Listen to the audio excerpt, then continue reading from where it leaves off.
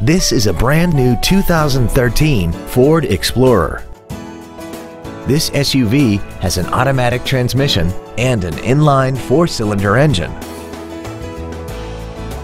Its top features include a navigation system, dual zone climate control, traction control and stability control systems, XM satellite radio, big 18-inch wheels, roof rails, and a tire pressure monitoring system.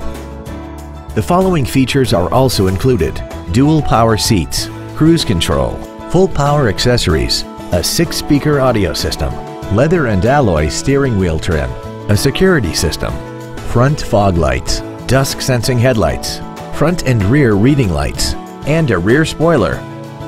Stop by today and test drive this automobile for yourself.